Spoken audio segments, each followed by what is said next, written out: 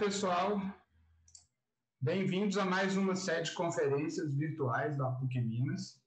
A disciplina de seminários 1, 2 e 3 realizada de, é, é, é, realizada de forma integrada entre as unidades do Coração Eucarístico e da Praça da Liberdade, sendo que essa integração vai ser adotada para futuros eventos presenciais.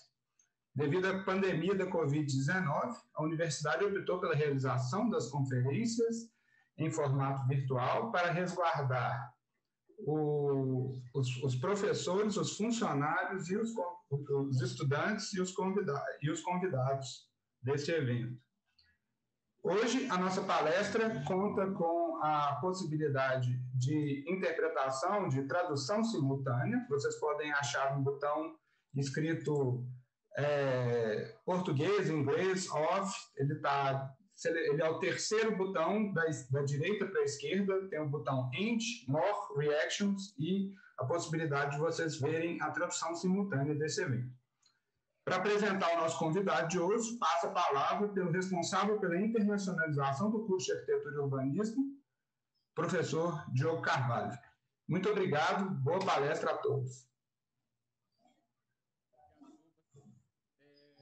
É um prazer apresentar o Christoph é, na Auratec, ele é professor sênior de Humanidades da Universidade de Sheffield, no Reino Unido, diretor do programa de pós-graduação e do grupo de pesquisa Espaço e Política, é também fundador, coordenador da rede de pesquisa de arquitetura pós-secular. Né, o Christoph, ele, ele, a, a, ideia dele é ser quase brasileiro aí, né? No ano passado nós tivemos, é, nós nos conhecemos aqui em Belo Horizonte e ele conheceu a nossa universidade, achou fenomenal e aceitou um convite né, de fazer parte, né, de inaugurar né, o nosso programa de, de, professor visitante, que ia acontecer em, em março né, desse ano, né, mas devido à pandemia, a gente teve que adiar essa, essa possibilidade. Né? No entanto, né, a gente né, conseguiu né, é, né, ter essa oportunidade da palestra dele aqui, e a gente espera né, que, que né, quando as coisas se acalmarem, né, o Cristo possa nos visitar aqui, ficar um tempo conosco, né, para desenvolvermos atividades conjuntamente. Uh, uh, uh, thank you very much for being here and accepting our invitation. Please.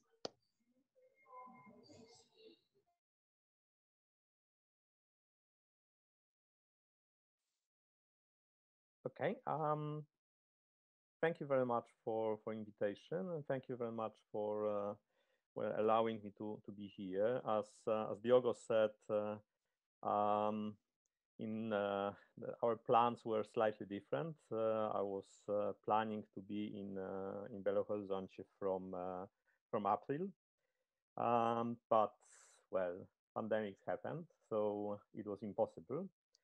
Uh, but I still hope that I will be able to uh, to join uh, join you and be in in, in Brazil uh, next year. Hopefully, everything will will be better. Um, to some extent, I'm I'm still there. Um, there's uh, colleagues. I think that some of them are part of audience today, who are working with me on projects. Um, research projects on um, on Brazilian Pentecostal churches and, and spaces used by, by Pentecostal uh, members of Pentecostal Pentecostal movement. So you know, I'm I'm still somehow, at least you know, in my spirit, uh, I'm I'm still in in Brazil, but you know, in flesh, hopefully it will happen next year.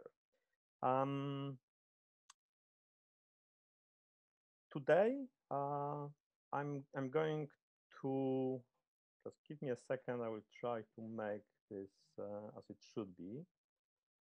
Uh, yeah.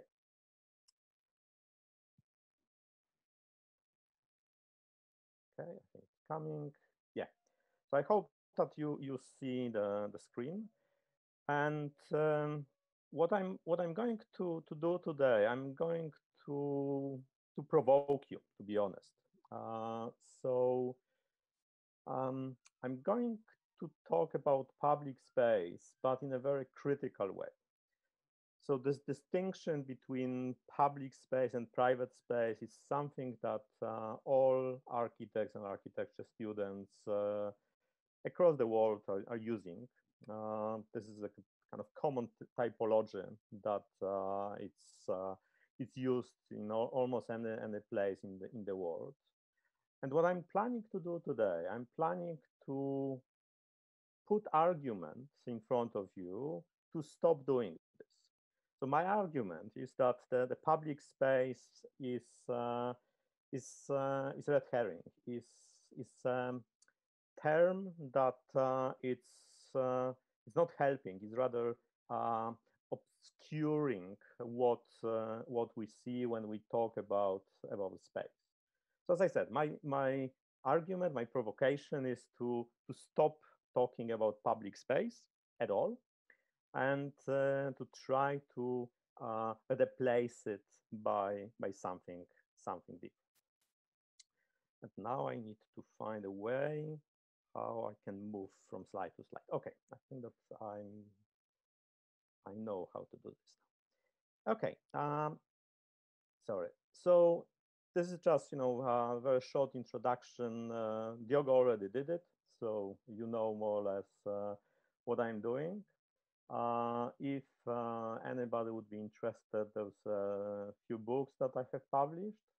Um, you know, I, I strongly recommend you not to try to buy them because especially uh, the, the, the last two ones on Kuala Lumpur and Total Urban Mobilization as academics book, they are pretty expensive. Um, so uh, I'm pretty sure that as you know, skillful young people, you are able to find them in a library or in, in other places if you would be interested to, to read them. But only if you if you find my uh, my talk, my lecture today uh, interesting.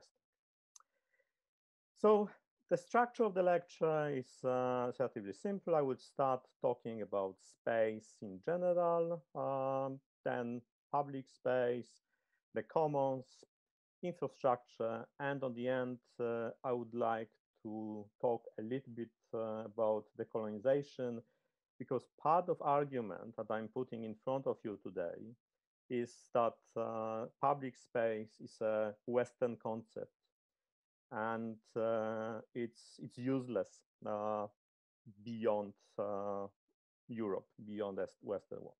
So this this discussion about decolonization is a part kind of supporting my argument to stop using uh, public space as a as an idea, as a term at all. So starting with uh, with space as such, I, I understand that this is an extremely broad topic and you you will need probably to spend set set of, of, of lectures to to discuss it properly. So you know, just uh, please please uh, forgive me being extremely brief, but I will just focus on what I believe in uh, in space is is crucial, is essential for the sake in the context of of my lecture today. So space is hierarchical. There was, uh, in urban studies, there was uh, two terms that uh, they are related to space. One is uh, absolute space, which is kind of geometrical space according to Euclidean geometry. So this is the space that uh, could be measured relatively easily. Yeah, so the space that uh, when we use GPS, yeah, defined by coordinates. This is absolute space. But uh, this is just a part of the story when we talk about space. Sociologists and people dealing with uh, with uh, with space and cities for last say 30 years at least they're using uh, another term term relative space which is recognizing the fact that space is a constructed is is not neutral really it's not passive. Uh, the space is what exists between different actors being in space and acting in space to make it uh, you know maybe slightly more uh, clear para torná-lo mais claro eu vou mostrar a vocês alguns diagramas. Uh, eu vou fazê-lo somente usando a tela, porque normalmente nas palestras eu geralmente uh, me movo e mostro com o meu próprio corpo, meu próprio movimento. Uh, dentro do cenário da palestra é mais fácil imaginar uh, imaginar como e quando eu falo sobre espaço. Então, vamos tentar fazer isso usando somente os slides. Então, como eu disse, o espaço é relativo. Uh, ele é sempre descrito. Um, relationship between uh, something strange going on here. Uh, just give me a second. Okay. Um, so space is described by our relationship to other actors, objects, people existing in space. Yeah, so you can you can imagine that you sit uh, uh, in your armchair or whatever you are, and this is your space A. And then there's a space B where it's uh, I don't know, kitchen uh, or living room or space uh, outside your window or another space that you can imagine, you can look at. Okay. And if you think about space like that, then you see that there's always something in between, between space A and space B. There's always this space X. You know, let's let's call it X. And the space X is has absolutely fundamental meaning because the space X is um, um, é organizado. It's um, controlling access from space A to B. Okay, give, give me a second. Okay, so there is a relationship. We can say there's a dialectical relationship between space A and, and B, uh, X and B. Yeah, so space X is controlling access from A to B, but in the same moment, uh, the same moment, is it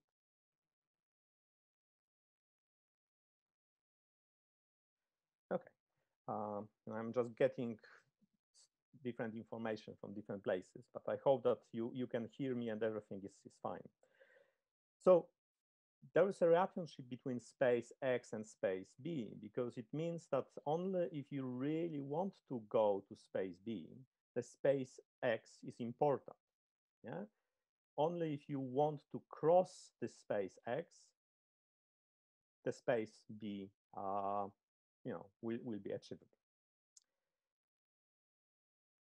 So it means that space is hierarchical. It means there's a hierarchy of spaces. There's a discussion about power and accessibility is embedded in space as such.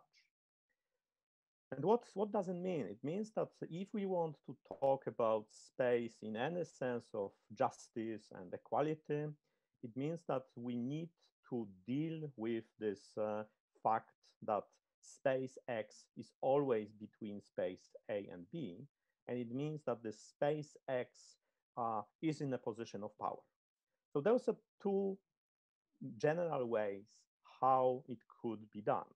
And I'm using Nancy Fraser discussion about justice and injustice.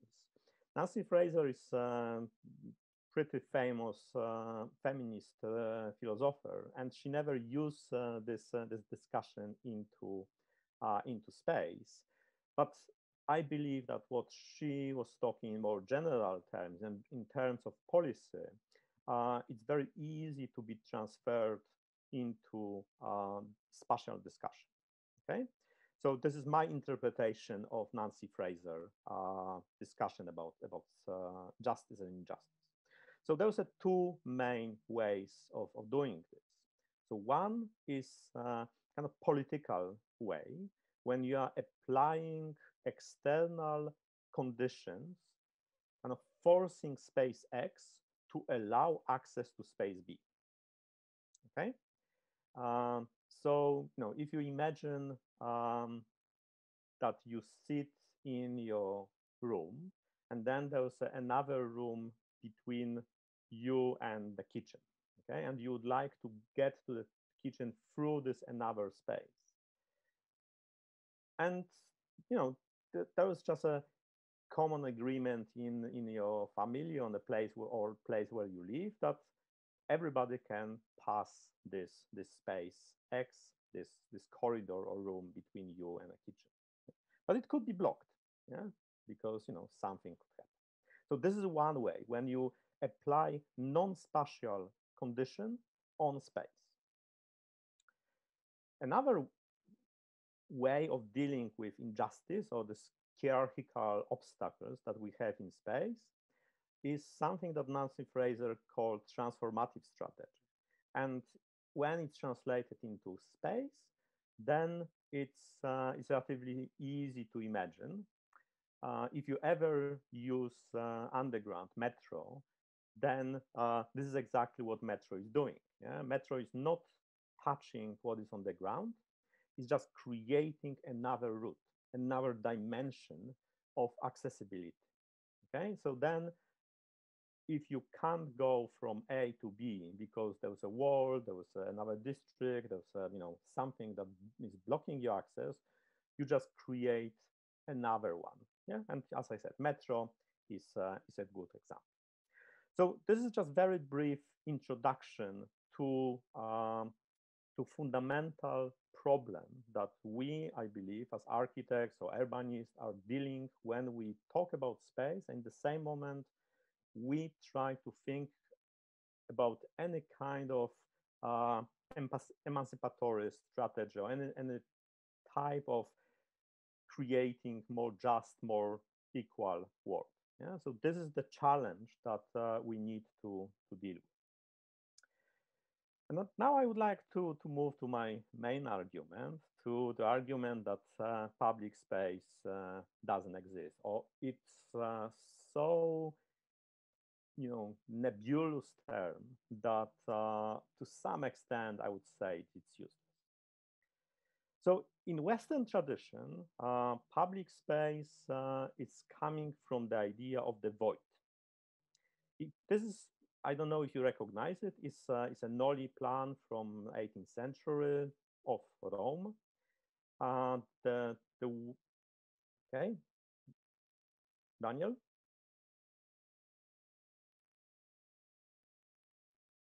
world is, uh, is based on the idea of the void. The void, the space in between, the gap between what is private, what is personal, and what belongs to the state. Okay, so this is discussion uh, that uh, Jürgen Habermas was uh, was using when he was talking about bourgeois public space, public sphere. So the space where the so-called civic society was starting to create to kind of mediate between the personal interest and personal life and the state apparatus. This is a diagram. I don't know if you recognize this one. It's uh, Oscar Newman, uh, Newman uh, Defensible Space Theory uh, from beginning of 70s. I think the book was published 1971. And um, this is very um, simple description of this hierarchical um, spectrum from public space to private space.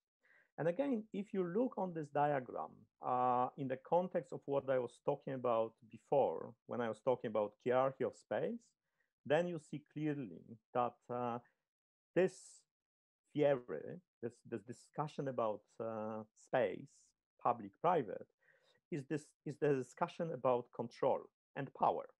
Okay, so from this this diagram, you can you can see that uh, the semi-public is controlling access to the next to the, the semi-private, and then it's controlling the access to, to private.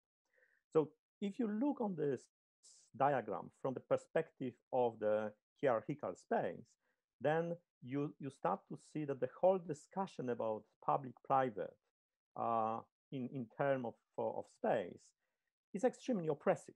It's really discussion about accessibility, who is controlling access, uh, who has a power to control access or has a power to allow you to, to enter. Okay, so this is these two elements that is a foundation for uh, European discussion or Western discussion about public space. One is a void that exists between personal and state, and another one is control, power, accessibility. Okay, next one.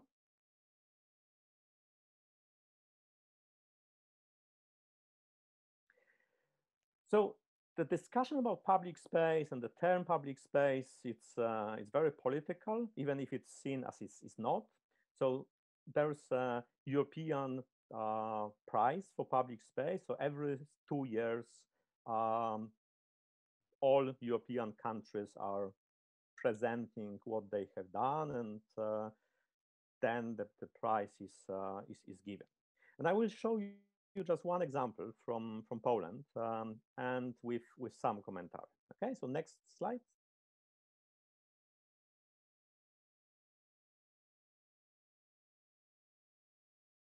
Okay, next slide.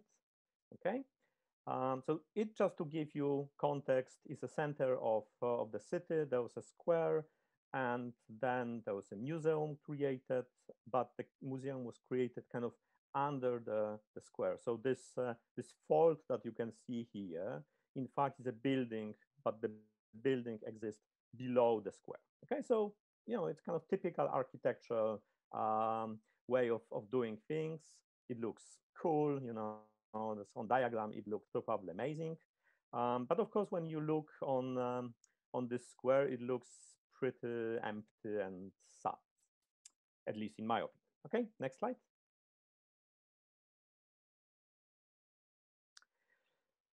So now, now you see how this uh, uh, so-called public space uh, looks uh, in um, just you know common time, the, the any any day that it happened. And uh, you know, if uh, there will be people related to urban studies, urban analysis, then probably we'll start asking questions: Why it's so empty? Why people are not using this? What is the problem? What is the regulations? That's not allowing to people to, to use it? Is it physical problem? Is uh, um, is a location of this this place in the city? Yeah. So what what are the, the, the reasons for for for you know for this uh, place looking like like it looks? And it's not my kind of mean way of presenting this. This uh, this uh, photograph, this photo is uh, from uh, the the website of of the institution giving the prizes. So it was the photo sent that you know people who nominate the space sent. Yeah? So this is the, the photo representing them being proud of, of the space. Okay. So I, we are not going to find an answer for, for this question, of course, but it's it's important to start asking these questions, and then we see that uh, the, the the space in city is much more complicated than it could uh, be seen. And this is another uh, photo that I really like um, because then you see there's a queue, I'm guessing, for the exhibition because the building is a museum. So there's a queue for exhibition. And as you see, uh, the design uh, didn't predict the fact that, uh, well, Poland is not Brazil, but uh, it could be about 30 degree during summer uh, in, in sun. So people are hiding in the shadow to, uh, to avoid the sun to kind of protect themselves. Okay, so but at least you know there's more people here that uh, in the in the previous. Okay, next one.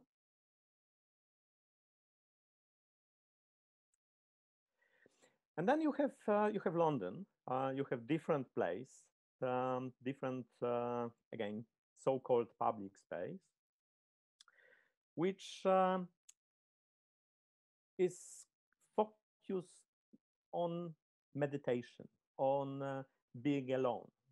So the, the public space, as uh, we very often discuss in architecture schools, as a place with uh, accessibility for everybody, a place where people meet each other, a place of uh, engagement, uh, sometimes place for political actions.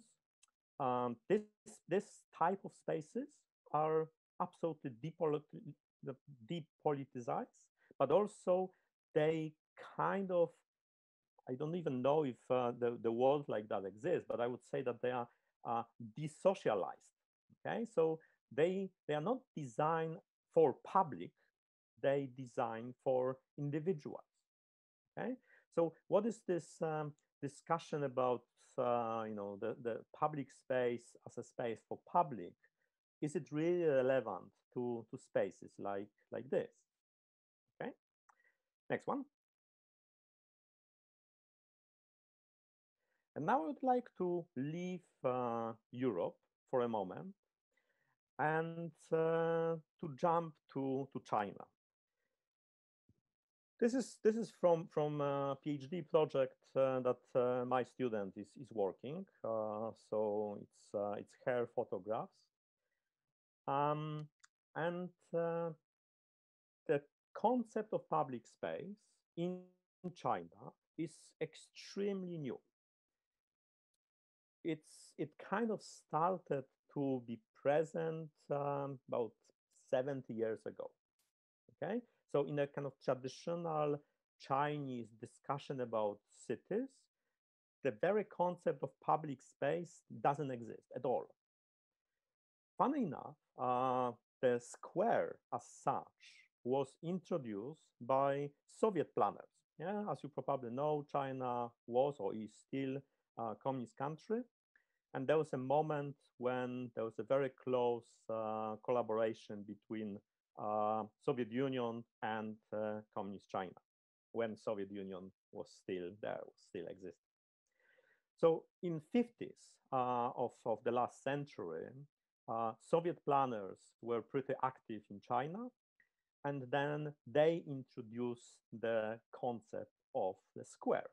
Yeah? So you see, this is something very, very fresh, very, very new, that in Chinese political culture and Chinese um, in, intellectual discourse about, about uh, urban space never existed.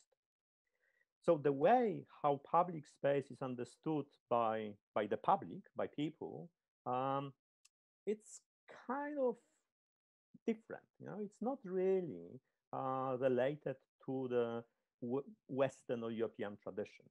And these examples are uh, showing how public space is kind of interpreted and used uh, in uh, digital media. Yeah, so this is uh, you know they don't really use uh, Instagram, but they have uh, similar um, apps. So they are using public space to to take photographs yeah, to, to play with that, to transfer space into um, funny images.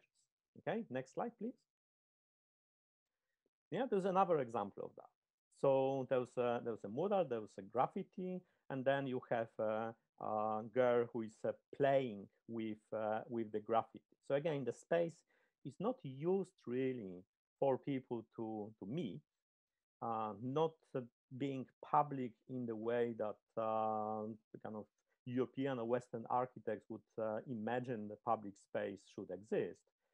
It's a very personal um, kind of choreograph or kind of scenography for, for people to have some fun and to play with, with this and to kind of make use it for their own purpose, mostly you know to present uh, what they are doing uh, online. Okay, and this this uh, this kind of layering of, uh, of physical space and digital presence in, uh, in China is extremely strong. It's extremely um, important. Okay, next one, please. So if uh, the public space is something that I'm, I'm not really convinced it's a, it's a great idea, or it's something that's helping us to understand uh, the urban spaces beyond uh, Europe or beyond uh, the, the Western, uh, Western world. There's another term, another concept that is extremely popular recently. It's called the commons. And I'm, you know, I'm, I'm not sure to what extent uh, the discussion about the commons is uh, uh, is present in Brazil. I, I, believe that it exists in a, in a, in a very particular way. And I would like to very briefly, again, to, to criticize it. to talk about what the commons uh, are and then put it into the question, is it a term that, uh, again, will be useful for us? Okay, next slide, please. So this is the discussion about um, about the uh, of the definition of the the, the common uh, taken from uh, Michael Hardt and Antonio Negri book The Commonwealth, and I will just read it. Yeah, we all share and participate in the common. By the common, we mean first of all the commonwealth of a material world, the air, the water, the fruit of the fruits of the soil, and all natural bounty which in classic European political texts is often claimed to be the inheritance of humanity as whole, to be shared together. We consider the common also, and more significantly, those results of social production that are necessary for social interaction and further production, such as knowledges, languages, codes, information, affects, and so forth. Okay? So, of course, they, when they are talking about the commons, they are not talking about space as such. Uh, however, this, this, discussion about the commons is adopted, is used by planners, by architects, by urbanism uh, to talk and to discuss and to produce spaces in a very similar way, like the discussion uh, coming from political theory and from philosophy, from Jürgen Habermas' discussion about the public sphere, was translated and transferred into space. In the same way, the commons are moved and used to talk about the, the spatial phenomena. Okay, next one. And my criticism or question about uh, about the common is related to these two phrases that I put in in yellow in the previous slide. So to talk about the commons, we need to produce it and reproduce it almost constantly. And uh, this is rather kind of point of reference that if you would like to, to read more, uh, the Kojin Karatani discussion about the mode of exchange, um, where he's telling a story about uh, kind of evolution of the way how humanity, how humans, how group of people were operating between themselves. You know, how the economy was moved from the economy of the gift, oh, it was kind of uh, gift that was expecting to, to be back, to uh, to capitalist mode of production when you have uh, um, you, you produce stuff, yeah? and then as a, as a commodity you you exchange stuff, and then this mode D is his uh, idea of what can uh, come next. But what what is important in uh, in Kojin Karatani thinking and how it's related to the idea of of the commons that um, he show us how the empire or national state was more powerful. They were more powerful that uh, the organization based on tribes because tribes were exchanging stuff but not were not able to accumulate stuff not not being able to accumulate accumulate uh, agents. State and empire operate in the way that it was kind of conquer the territory took everything from there and then redistributed to people that they believe that would be useful Okay, the, the remnant of this is, is a taxation system. This is what uh, how it works. Yeah, so the state is by collecting taxes is is accumulating ability to act. Yeah, it's accumulating agents. And then when you think about the commons, then you will see that there was no space, no moment, no opportunity to accumulate anything because the commons you need to produce and reproduce. Okay, I hope it's more or less clear.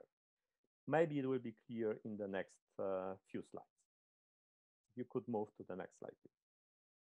Okay, so I would like to, to give you example. Uh, example that uh, was designed and built, the, well, first designed and invented by my colleague, uh, Professor Doina Petrescu, who is also working in, in Sheffield University. You know, she's really established uh, uh, architect operating in, in France. So she, she lives in France and, and she, she teaches in, in Sheffield. So this is the, the project that uh, she, da, she, she has uh, done a few years ago.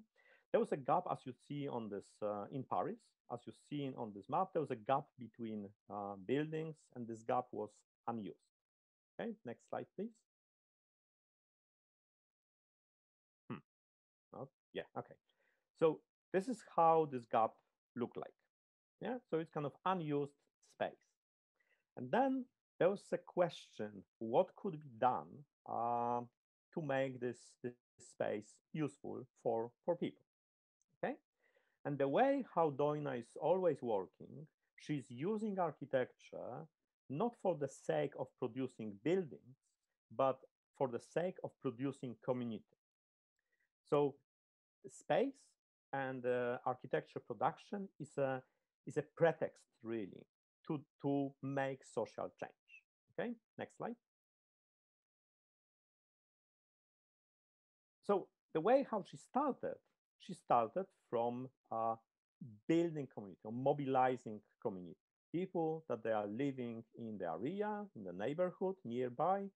Uh, she invited them to brainstorm or to discuss what could happen uh, in this space and you know what they would need and of course, you know, there's a lot of problems and, and discussion about, you know, participatory design, you know, again, who is included, who is excluded, you know, who is making final decision. Let's leave it for a moment. It's not, it's not uh, the, the key issue that I would like to talk about at that moment. Okay, but this is this is a project that kind of aims to produce the common, something that is shared by all people that they live in the in the neighbor. Next slide.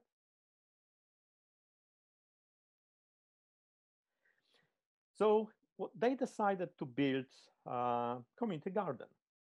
And uh, what was interesting, and it's important, I think, in this case, but also to, you know, to support my argument, they have initial money, but they knew that uh, they are not going to have this money in the future. Yeah, so there was an initial chunk of money, but uh, there was only one off that they can use. So because of that, what they are going to produce should be sustainable. It should stay and kind of allow the place and the people here to use it in the future without additional uh, funding. Okay, so because of that, they focus on uh, kind of self-sufficient uh, ecological system using water, you know, uh, food production, composting, waste, you know, this kind of stuff. Okay, next slide.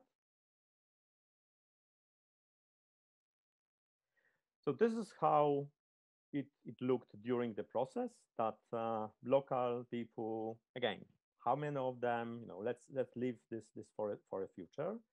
Um, they these people engage to to build it to create this uh, this place for everybody. Okay next slide.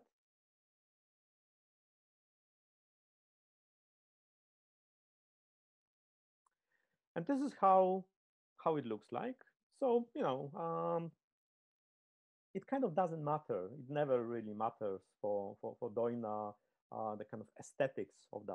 And you know, you can like it or not. You know, I like it quite, quite, quite a lot. I think that it's pretty, pretty nice uh, building, but it kind of doesn't matter um, because what matters is that the community was built.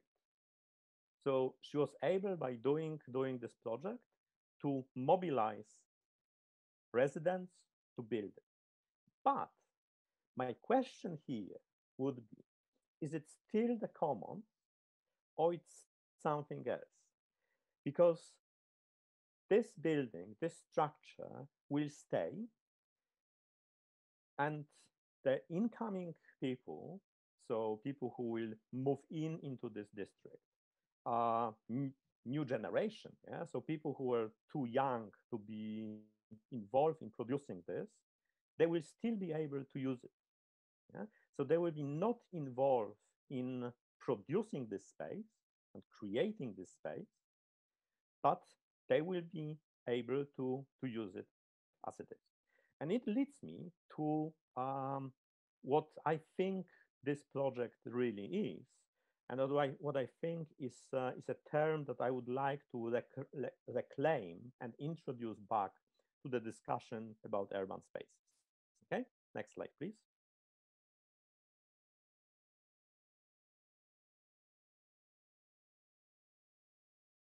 Okay, so the term that I would like to reintroduce or, or discuss it is infrastructure. And if the, the, the public space could be seen, if, if you'd like to transfer it into um, kind of political terms, could be seen as a kind of proto-democratic space. Then the commons uh, are very popular amongst uh, people who are interested in the kind of more anarchic uh, ways of organizing the society, deliberative uh, democracy, or more this kind of bottom-up uh, type of, of organizing societies. Infrastructure, in my in my view, in my opinion, is kind of type of, uh, of liberal democracy. And to some extent, I would like to, to defend it. Yeah, even if, you know, uh, it could be controversial, but I would like to, to do this. And as you, as you see, or as, as I hope that you will see in the second, what I believe the, the success of, of Doina's project is that it's not the commons that she created, but she created piece of infrastructure. Okay, next slide, please. Just a definition what infrastructure is, is you know just just from the from the dictionary. So the the infrastructure is a system of public works of a of a country, state, or region, resources required for an activity. Yeah, so this is something that's a supporting activity. The second definition is very very very similar the underlying foundation of basic framework as a system of organization. The third we can we can skip. Okay, next slide, please.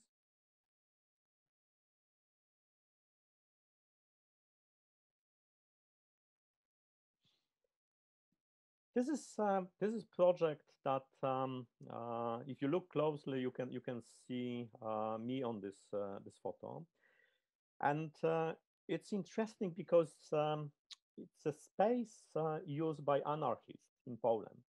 So again, um, something that looks as um, uh, closer to the commons, I would say that's a piece of, um, of infrastructure because they use existing building to kind of support their own activities. The next slide. And they created the, the, the, the, social center. And part of that was uh, the, the cafe where they providing food for free, you know, like the kind of typical ways how anarchist communities are operating. But again, it wouldn't be possible if this space didn't exist. Yeah, so this space was created before they were able to, use it. And even further, the, there was kind of social infrastructure supporting them to to operate. Yeah? The money were coming from somewhere. The food was coming from somewhere. You know, the labor was coming from somewhere. And this is, you know, I'm not I'm not questioning, uh, of course, what they have been doing. I'm not trying to diminish them. I'm just trying to show that there is a material um, conditions and structure supporting what they have been doing. Next slide.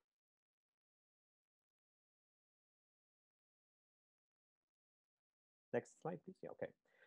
So this is um, Kuala Lumpur. Um, and um, this is um, infrastructure kind of done by people. So this is the project of bicycle map project. Yeah, so there is a city existing in, uh, you know, you know, built by by the state, by by private uh, companies, um, and then group of people decided to to hack the system and to to see if they can use spaces that they were designed for something else as a, as a bicycle route. Okay, and then they created this guidelines uh, how you can safely use spaces by cycling, the spaces that were not designed to to be uh, to be used in that way. Okay, so again the same mechanism. There was a something, there was a physical uh, structure that exists, and then it's used uh, as a springboard to, to, to, to do something else. The next slide.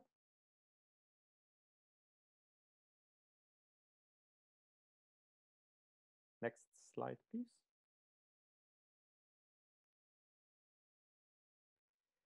So this is uh, because it was pretty successful project uh, with um, kind of a lot of people now too, too quickly. So if you could come back to the previous one.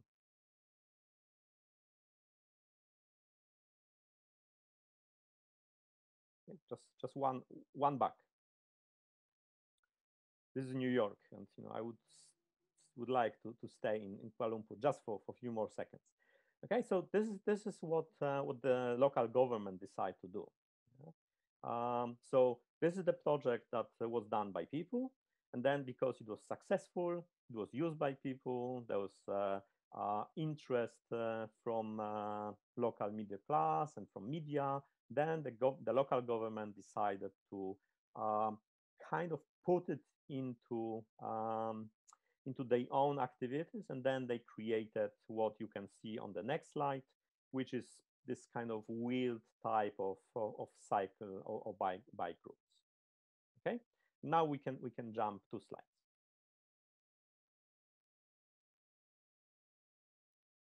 Okay, next slide, please.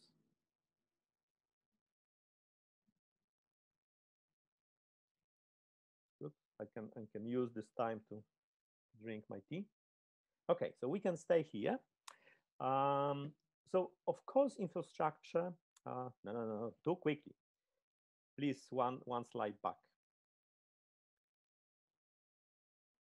So infrastructure could be dangerous. Uh, infrastructure is never neutral. You know, space is never neutral. This is what uh, I started my, my my discussion, my lecture today, from the from the statement that space is never neutral. This is New York uh, with a very famous planner, Robert Moses. Um, who was responsible for all this massive infrastructure project in New York. And if you uh, if you're familiar with name Jane Jacobs, then Jane Jacobs was uh, his uh, nemesis. You know? She was fighting against him. Yeah? That uh, he was this kind of top-down guy who was uh, making massive uh, project, and Jane Jane Jacobs was defending bottom-up uh, activities, communities, local local communities, and so on.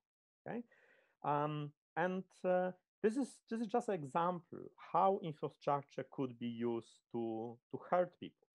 Okay, so and of course there was a discussion if he did it in purpose or it just happened, but we know from his private uh, correspondence and, and other sources that he was racist as a person.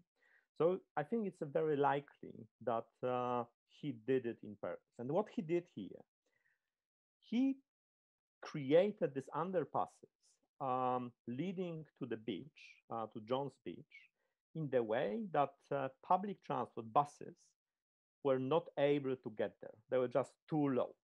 Okay, so you can get to the beach if you have a car. So it means that you are middle class, but you can't get there if you are poor. Uh, and uh, in that time in New York, uh, poor means black or Latino.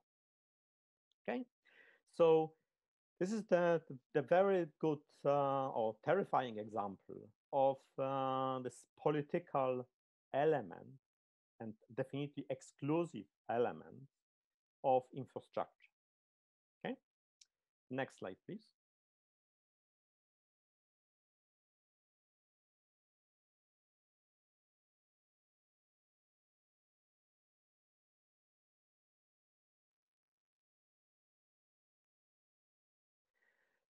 And then there's another example of kind of mixing or combining the, the left wing uh, thinking about the commons or the kind of mobilization of the community with uh, more kind of top uh, top down uh, more kind of infrastructure projects.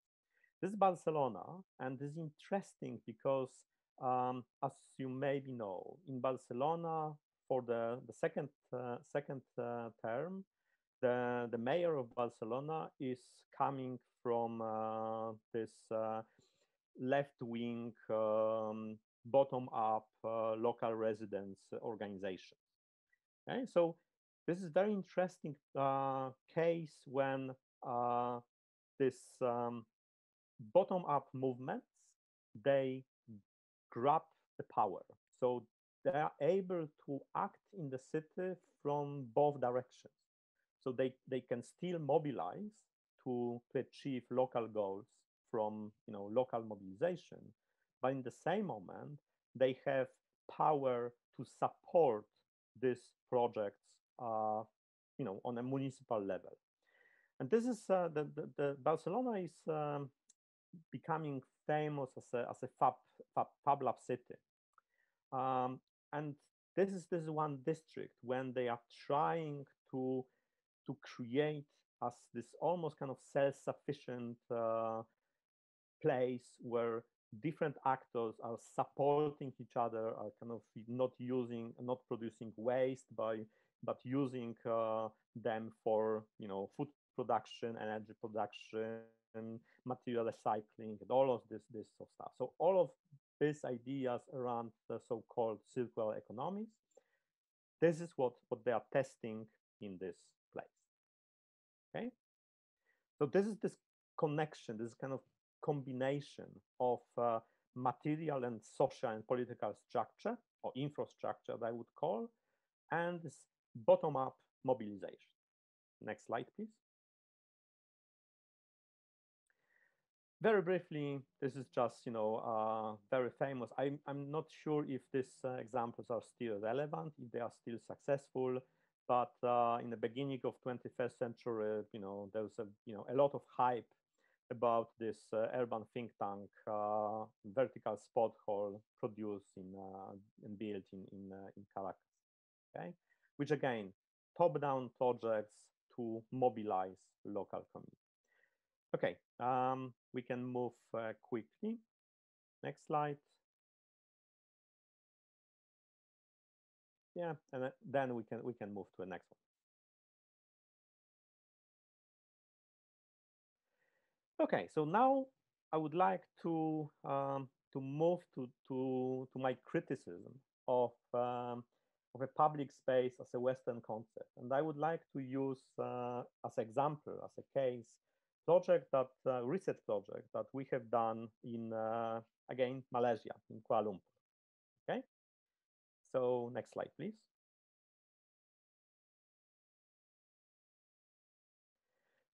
This is this is this part of the lecture is based on on work done with my colleagues. So there's an article published uh, together with with Asma Mehan, and there was book uh, produced together with Ma Asma and, and Marek Kozłowski. Next slide, please. So the project, the, the discussion that uh, was started in, in Kuala Lumpur started from the failure. So um, in 2016, uh, I went to Kuala Lumpur with this Western vision of public space that uh, I was interested to observe how public space works in uh, multi-religion, multi-ethnic uh, community.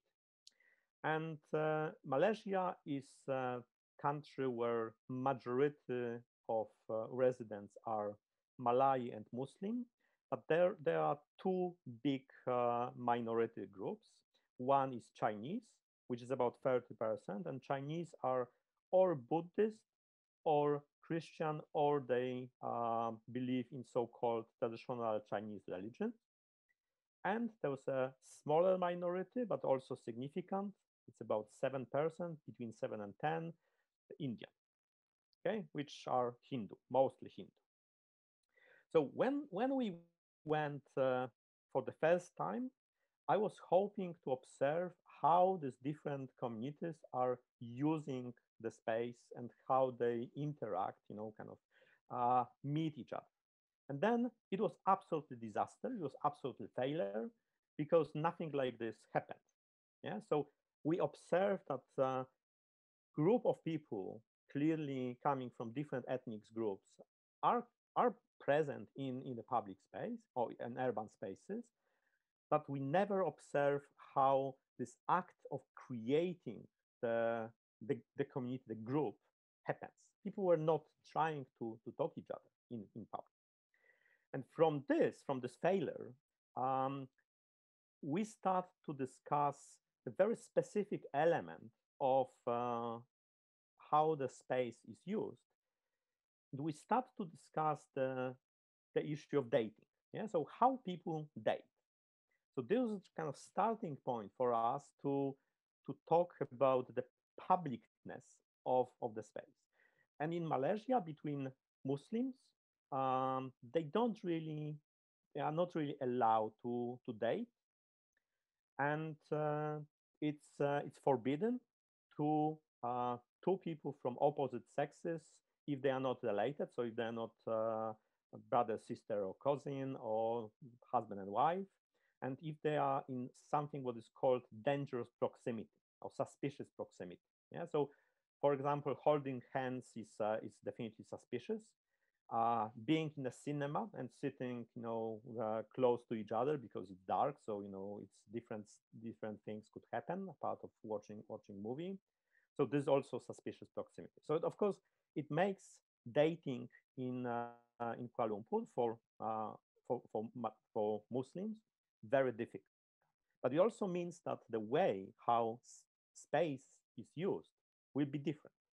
Okay, next slide, So just to, to show you where uh, Malaysia is, if you're not uh, familiar, so you see it's like between, between India and Australia. Yeah. um, it's on, on, uh, on the island and on the peninsula. It's close to, to Singapore. Yeah, if, if it makes uh, your, your life easier. Okay. Next slide, please. So it was interesting that uh, when we talk, when we discuss uh, and interview people, and many of people that we interview are, um, because of the way how we are able to approach them, they were educated in the in the West, in the UK, in Australia, in States. Many of these people were also architects or related to architecture. And then when we asked them what is public space in Kuala Lumpur, even architects were not really able to answer this question. They were kind of um, trying to give us the best example. And you know, the best example they, they, they said is a restaurant. And again, it's I think it's interesting because in restaurant, uh, in a Western narrative, uh, you know, it's a it's a private space. You know, it's a it's a commercial space that you, you buy food. It's not public space. You need to pay to, to enter there.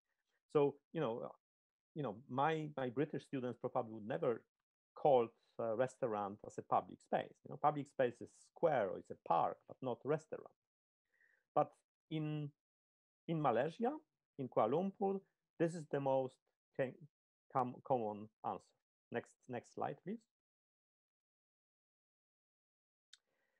And this is kind of uh, supporting what, what I already said. If you look closely on this, this photographs, uh, this is places where people eat. Uh, and food in Malaysia is amazing, by the way. So, you know, if, if you have an occasion to go there, I strongly recommend you.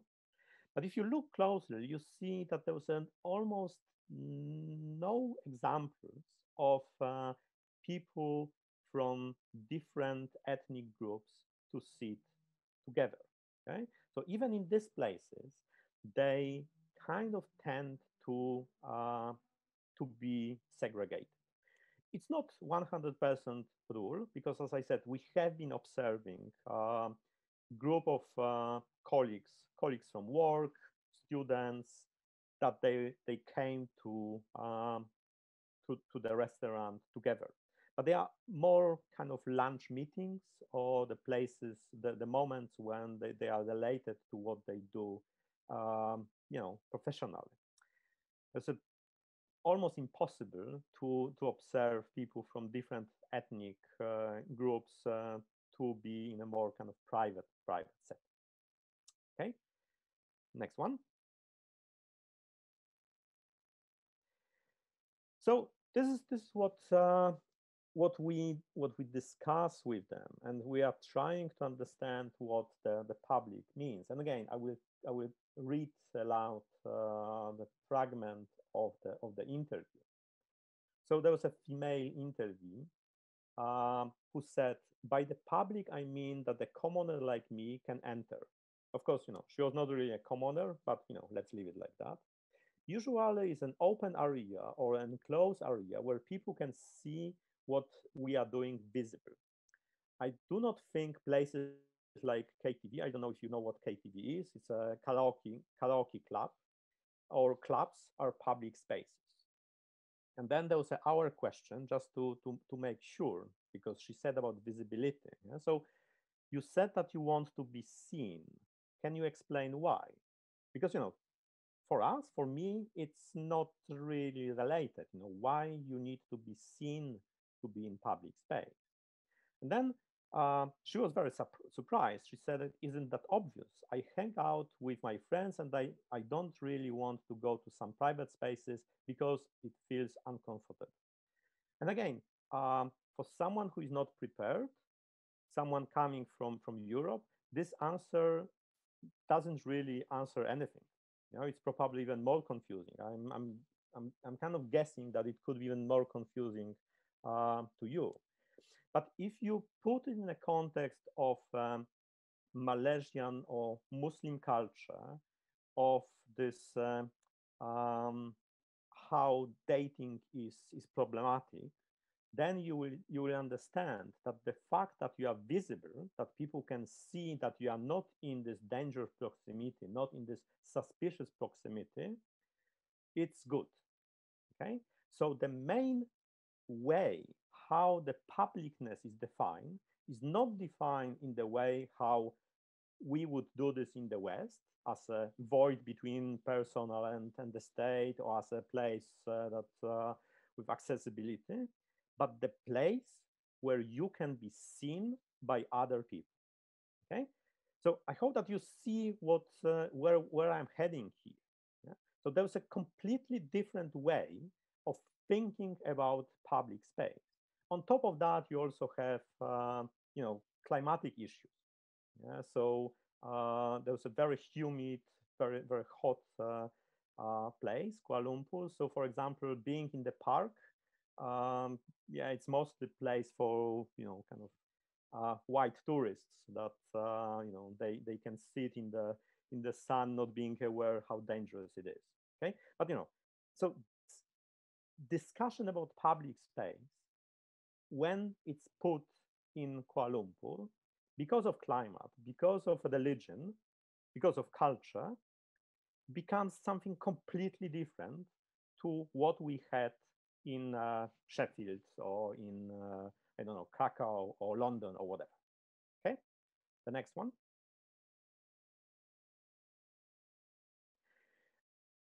Also, uh, if you, in a similar way, like uh, what I said about China, that uh, the term public space is very, very new, very fresh in China. In Muslim tradition, the distinction between private and public also doesn't exist. So in this intellectual tradition, it's something alien. Yeah, the way how they discuss about space is different. You know, I'm not, I, I'm, I don't have time now to, to, to go into details on that. Um, but you know, just believe me that uh, it just doesn't exist. Yeah, so so none, neither in China, neither in uh, Malaysia, the distinction and the idea of public space was ever present. So why it's present now, why it's used now, what it's really doing, to what extent the distinction between private and public really helps us to understand what we are looking at. As I was trying to show you on this example on Kuala Lumpur, um, it's it was completely useless. Yeah? The way how we approach the, the, the city, the urban space, through our Western lenses, trying to make this distinction, this typology, uh, we are not able to understand what we are looking at. Okay, the next one. So this is the, the end. Um, and this is just kind of opening question uh, because I'm guessing that as architecture students, uh, we are, you are also familiar and we are using this disti distinction on private and public space. But you know, I'm, I'm not Brazilian. I don't know Brazil enough to be able to answer this question. But I would like to provoke you. I would like you to, to sit down for a moment and just ask yourself, is it really that uh, the distinction on public space and private space the best way to talk about uh, Brazilian cities? Or maybe it should be something different. Maybe to really talk about your own cities, you need your own Brazilian or Latin America or you know whatever you'd like to call it theory of urban space.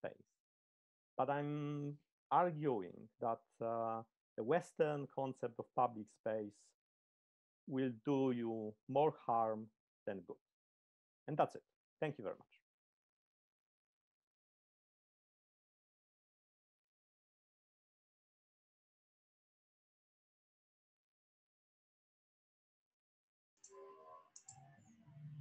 Thank you, Christoph. Okay, guys. Uh, let me go back to the questions. Uh, we're gonna start the questions right now. Olá, pessoal. A gente vai começar as perguntas, né, com Cristo. É, vou liberar o chat aqui para vocês.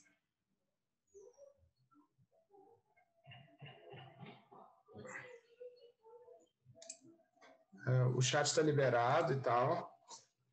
A gente podia começar é, com as perguntas. Alguém aí tem vontade de perguntar alguma coisa? Ficou com dúvida? É, alguma coisa? Podemos começar levantando aí as pessoas que querem interagir.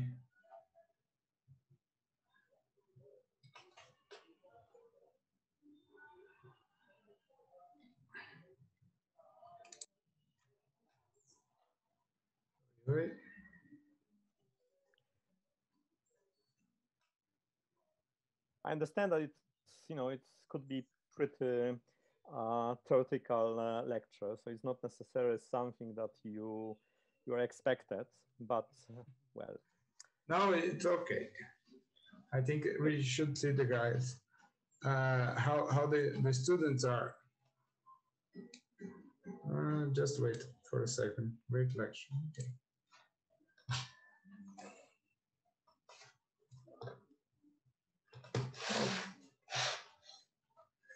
The the one one good thing that we can start discuss uh, a discussion about Christoph is uh, the values of how do you say the theory of Western urban uh, planning theories and how it affects Brazil.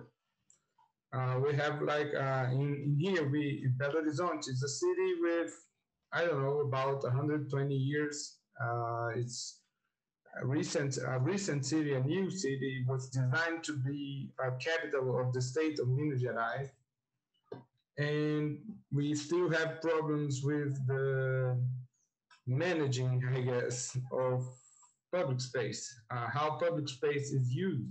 Um, we have the, the conditions, uh, how the, the, the population relates to the, the public space. It's diffuse like social social classes uh, use it in different ways we have this, uh, how do you say, how, I can say it like these classes, social classes, like uh, really rich, really medium classes, and really poor.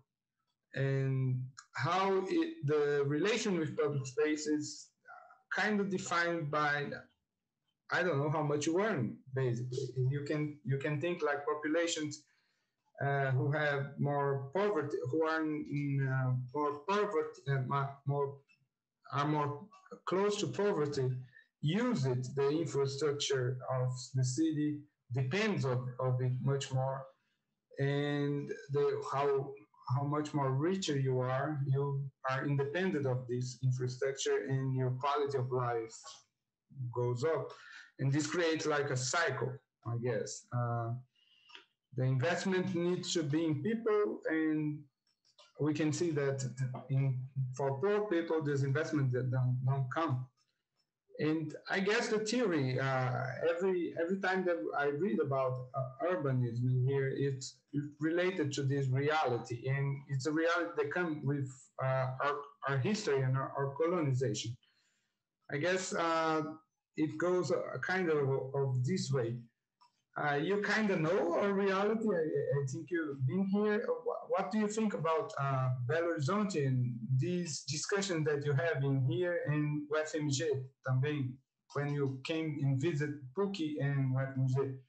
What, what do you think would be a good starting point to talk about? Well, you know, I, I was in, in Belo Horizonte, um, you know, in those few weeks really. Um, so of course, you know, I, I don't really know the city. And also the way how I explored the city was, you know, kind of white, middle class, uh, Western tourist, okay? So yes. the, the way that, that, that the city that I know, it's really the, the city center. Yeah? So, so there's a places kind of around uh, the, the university and, and the places like that. So so it's not um, that uh, I know what is behind. We have been, because we have been doing uh, the, the, the, project that I'm doing at that moment. So we have been in occupied territories um, too. Um, and, you know, it, it's also a question, you know, if you put uh, this two type of, uh, of urban settings um, together, yeah, you can, you can put uh, space that was uh, constructed by, by residents, the kind of yes. occupied territory. And then you, you put uh, the, the space uh, that uh, exists as a, as you said, effect of colonization, kind of more kind of middle class way of, of building a city. Uh, it would be, you know, extremely interesting. I'm, I'm, pretty sure you you have been doing, or someone was doing this this kind of uh, comparison, this kind of uh, research. But you know, to me, it's it's fascinating that probably the language how you start talk about the spaces will be different. Yeah, there's uh, there's kind of different uh, urban phenomenon. If if I can just um, have a five seconds break because uh, it's as you see it's dark here, so I just okay. switch uh, yes. switch on the light. Okay, so just give, okay. me a second. Okay. Oi, pessoal. Uh, vamos aqui organizar a ordem, então, enquanto o, o Christoph dá uma ligada na luz ali na casa dele, porque já está um pouco mais escuro lá. É, tem Sofia Ventura, Bernardo Virgílio e a Cássia Soares, propondo uma discussão. Essas é as ordens aqui até agora. Bom, Sofia, você quer ligar a câmera e o microfone para fazer uma pergunta aqui? Eu posso traduzir se você quiser.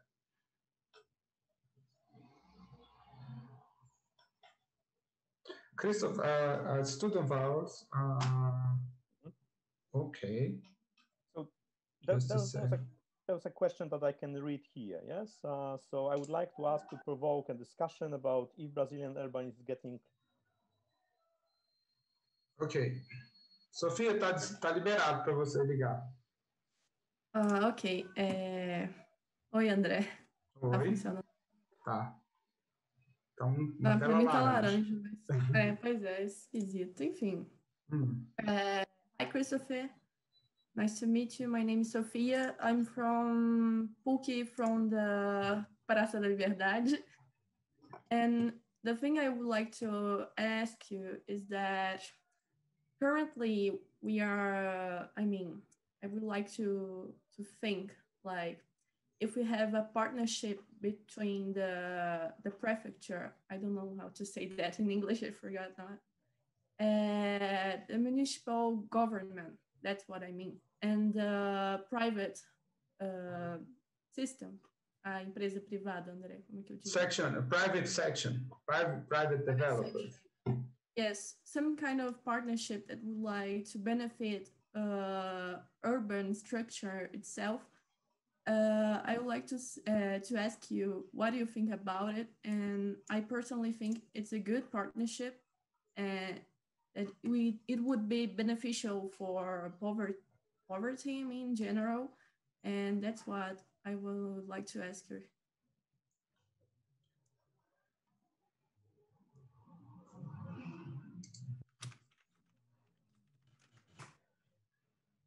Hi, Christopher, I think you're muted. Yes, Okay. yes. Now, so André, o áudio do tradutor está mudo também. Opa, peraí. okay, can I answer? Okay, go ahead. Okay, so I'm always very suspicious about uh, public-private uh, collaboration, and um, I, I will try to tell you why I think uh, it's. Uh, I'm not saying don't do this. I'm just saying be very, very careful, because um, there's just different logic. Okay, so the the logic of public body is uh, a kind of as ideal logic is to serve the people more cynical logic is to be elected. Okay, so the way how public body operates um, is uh, is different to private body that is mostly interested in profit. Okay, so you have two logics of two bodies, two institutions that they try to achieve something else.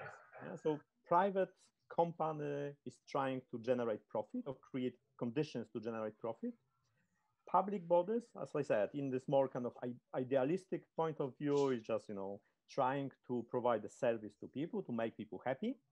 Uh, in a more cynical way, it's you know trying to have public support uh, to to be re- elected. But these two logics um, are very often contradictory. They are not necessarily uh, operating uh, in in sync, and uh, very often the private body is uh, much stronger, much more aggressive. It's also, you know, very easy to corrupt uh, the, the, the local government. Yeah, so so there's a there's a tools that uh, that private bodies have to achieve something that is good for them, but it's not necessarily good for for people. So as I said, it's I'm not saying just don't do this, um, but uh, I am. I think that it should be extremely transparent, and uh, it should be brutal in this uh, kind of honesty. Yeah. So um, you should demand honesty. Why you are doing this? What you are going to get out of this? And then maybe. But example is from, from the UK, for example, when uh, this uh, you know UK is a you know pretty capitalist country with very strong um, participation of, of private uh, private uh, sector, um, it's they are not really encouraging.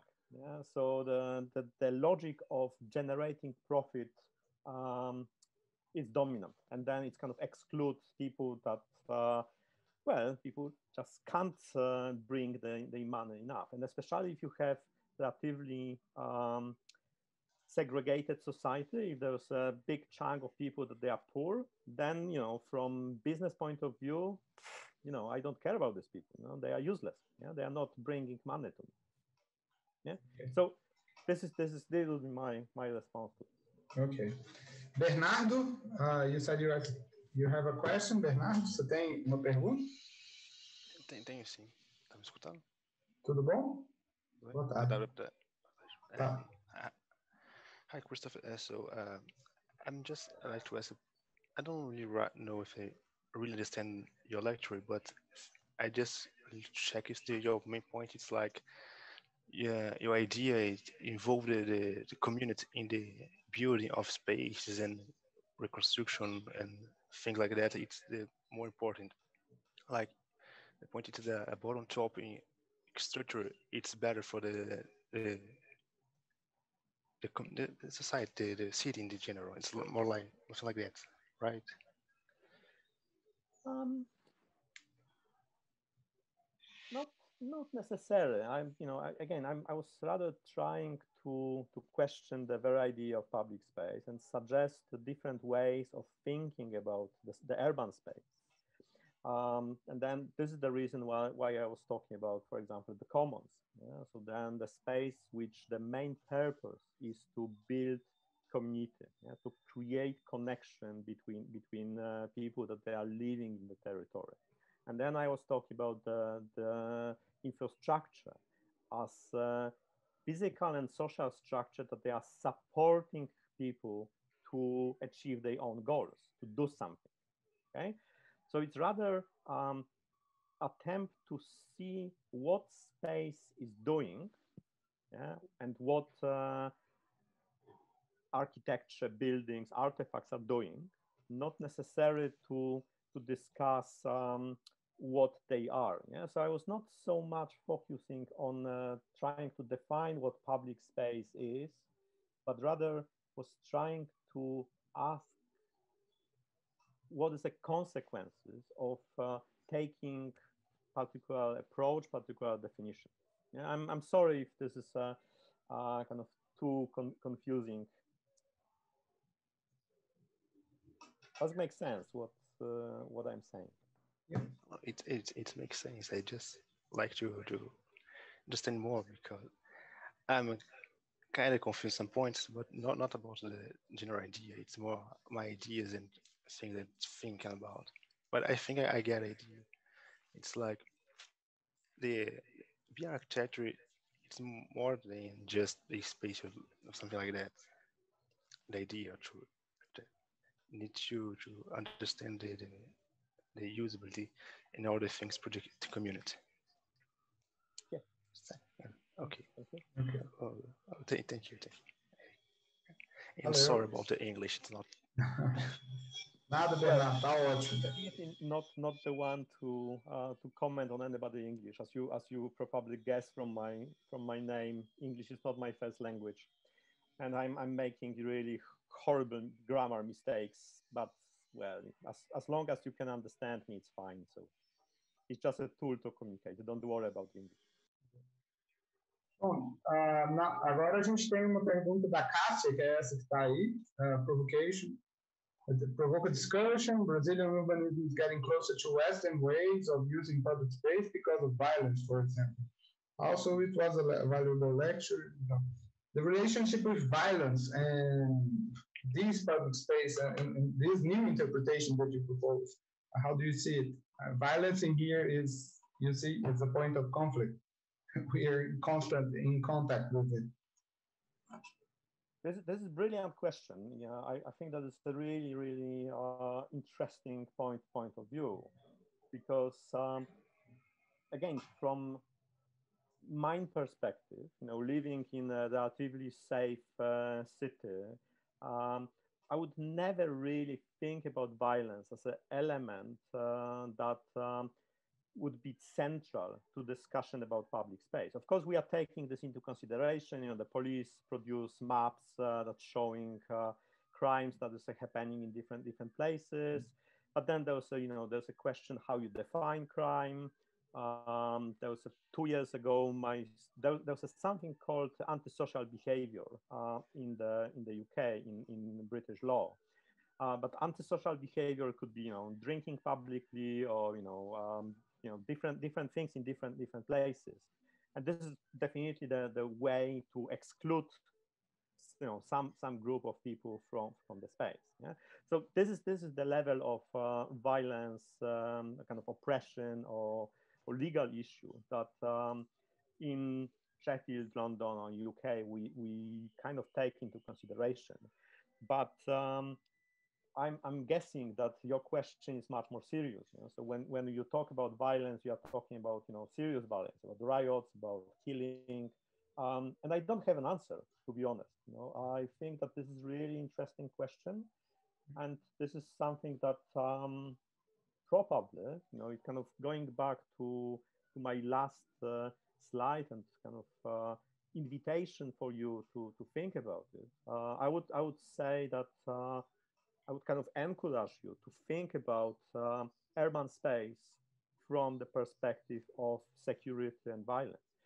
The risk, of course, is that then you can start to accept this because um, the example that I was I was uh, giving about defensible space theory, uh, it's also used by our British police as a kind of manual tool to um, provide security by design.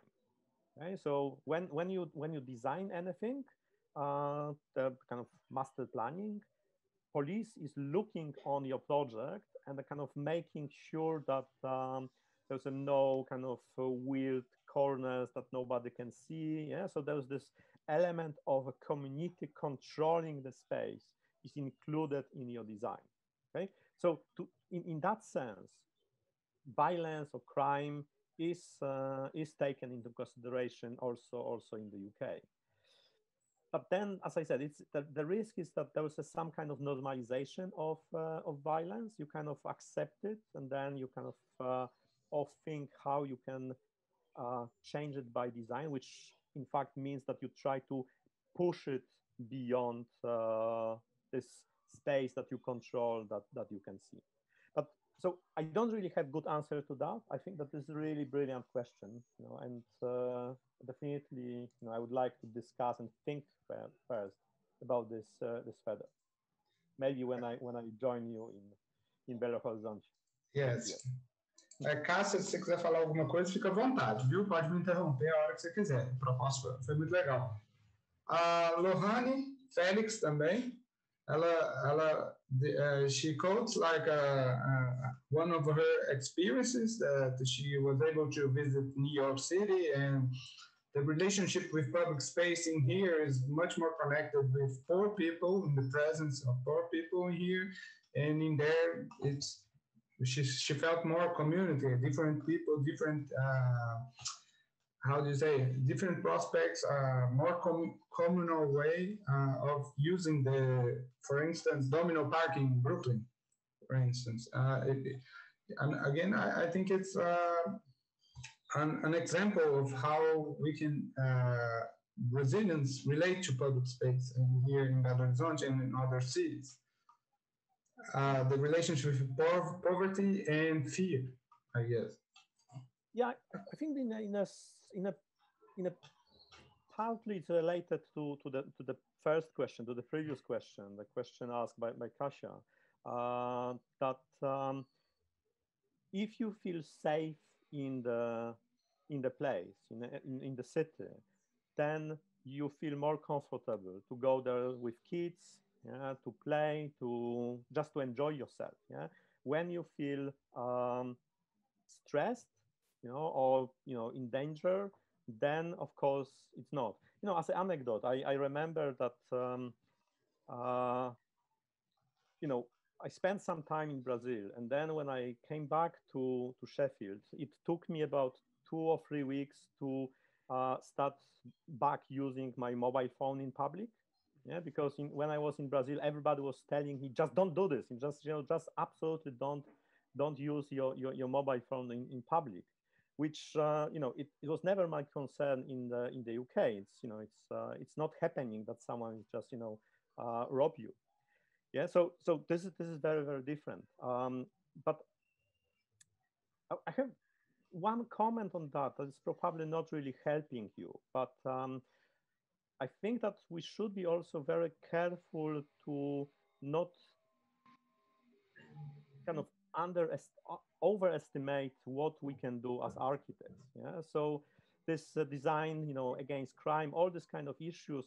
Um, I'm always kind of feel uncomfortable about this because um, it's not really our job, to be honest. Yeah, we can't, unfortunately, as, uh, as professionals, we can't really make the change, you know, to, to, to make the, the world better.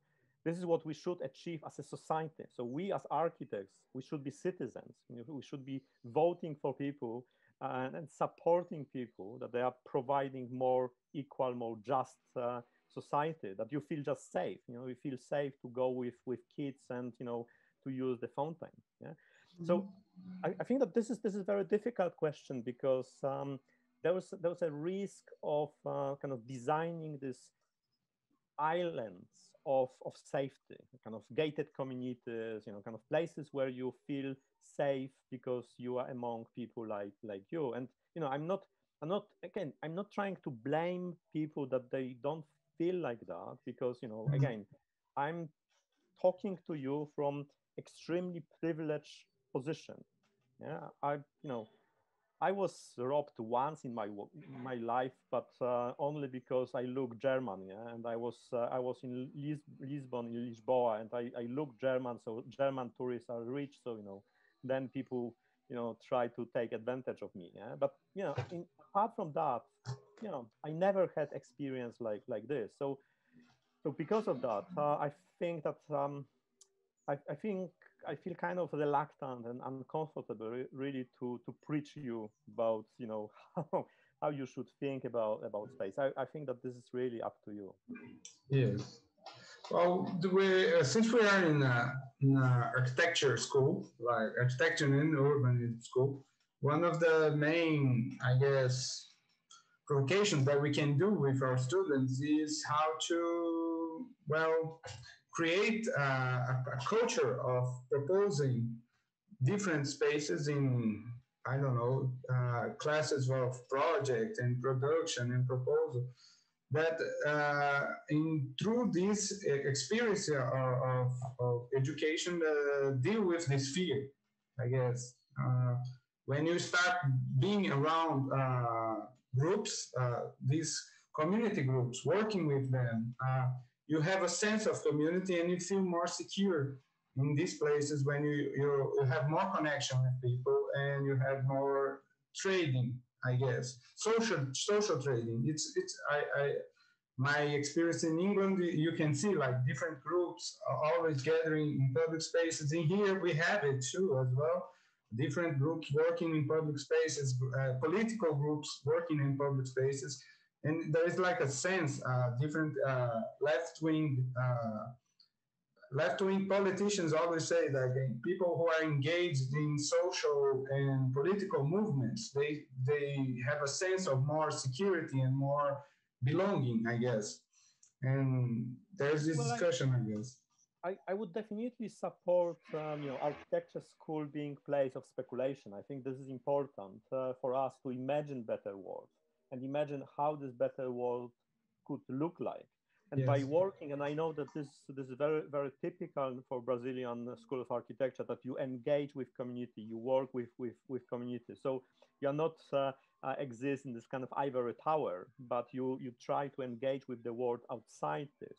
So I think that this is a kind of probably the, the try to achieve the balance on one hand to respond to direct uh, needs of communities that we are working with, but in the same moment to try to design for hope, yeah, to kind of try to imagine what you know what what it mean to what could what should happen to make the world uh, the, the better place safer place the place that we we all should should welcome and include it i see there is another question here in the yes. chat uh, from from naila so i can read it and then answer. Hi, Krzysztof. I would like to know what do you think about the pandemic situation? Do you think there will be new way of using public spaces? This is a very good question. Um, and well, uh, I was, I have been asked about this, you know, till the, the pandemic started, and I'm asking this, this myself. So of course, the question is how long uh, the situation will stay. Okay, so I'm personally uh, kind of pessimistic in the sense that um, I'm not 100% convinced that we'll have vaccine in next couple of months. Okay, I think that everybody is trying to do, but um, you know, for for SARS, which uh, was the kind of previous version of the virus, the vaccine was never produced. Yeah, it was just difficult to do this. Uh, for HIV, vaccine doesn't exist. So I wouldn't be too optimistic that we'll get uh, vaccine uh, quick. I think that this is what you know politicians are trying to convince us. Um, but mm, I hope they are right, but uh, I'm I'm not sure. And this is this is of course makes makes the discussion uh, much more complicated because if the vaccine or or medicine uh, appear relatively quickly, then there's a chance that at least partly will go back partly because I think that there's some elements of what uh, happened over the last few months will stay, and I will come back to this in a second.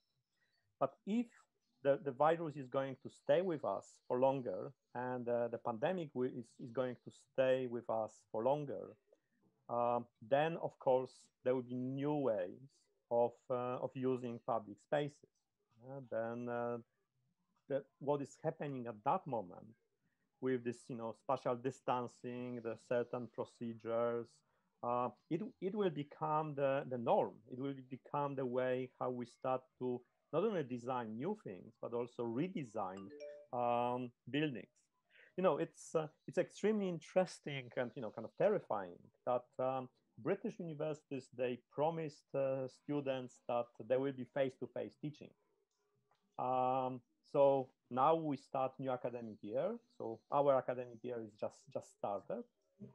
And uh, students came and of course there was an outbreak and there was a, a no, new lockdown in Scotland in several places. It's, it's, it's absolutely disaster. But um, it's also because nobody really planned it, you know, in details. We did, okay? So in our school, we are located in the tower. Yeah, it's Sheffield, Sheffield School of Architecture is located in Arts Tower. So we kind of analyze, as architects should do, what it really mean if you would like to obey the regulations, to have 1.5 meters uh, distance between people, and then how people are going to enter and exit the tower. Yeah? So if we are lucky, and if we are very well organized, we will need more than one hour for our students to enter the building and then to leave the building. So it's absurd. Yeah, it's nonsense. Yeah, there's there's kind of no way. And you know, I'm not talking about people that they are disabled. You know, I'm not talking people that uh, they have some health issues. Yeah, it, it was just very very kind of rough calculation of uh, people kind of moving in a um, kind of average speed and you know going through all these procedures. Yeah.